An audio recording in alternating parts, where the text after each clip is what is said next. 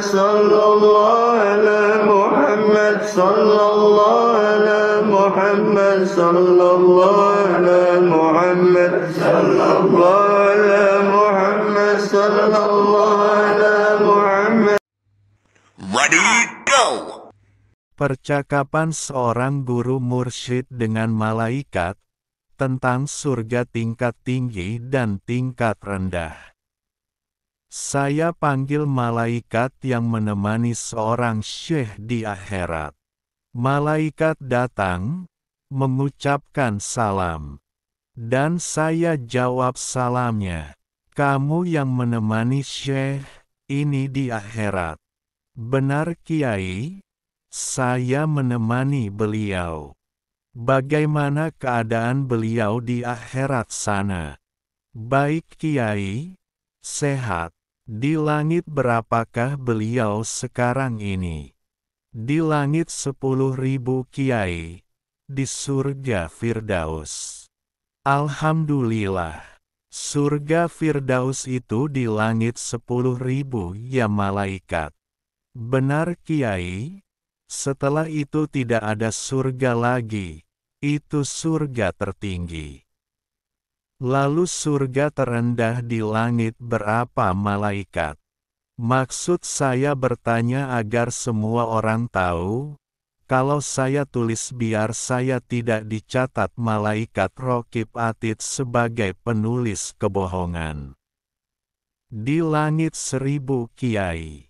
Jadi kalau belum langit itu belum masuk surga ya malaikat.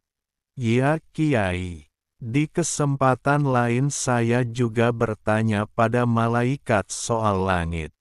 Malaikat menjelaskan, asal sudah di langit maka ruh itu tandanya tidak disiksa.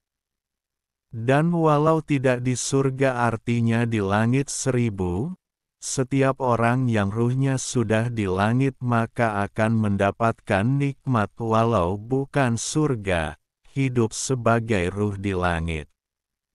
Dan untuk mencapai derajat langit di atasnya maka harus berjuang di bumi, menerima ujian dan cobaan di bumi.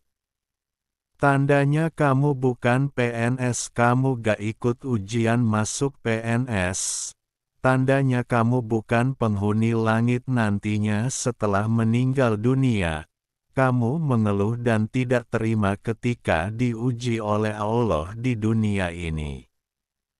Percakapan seorang guru mursyid dengan malaikat tentang surga tingkat tinggi dan tingkat rendah. Saya panggil malaikat yang menemani seorang syekh di akhirat. Malaikat datang, mengucapkan salam. Dan saya jawab salamnya. Kamu yang menemani syekh ini di akhirat. Benar Kiai? Saya menemani beliau. Bagaimana keadaan beliau di akhirat sana?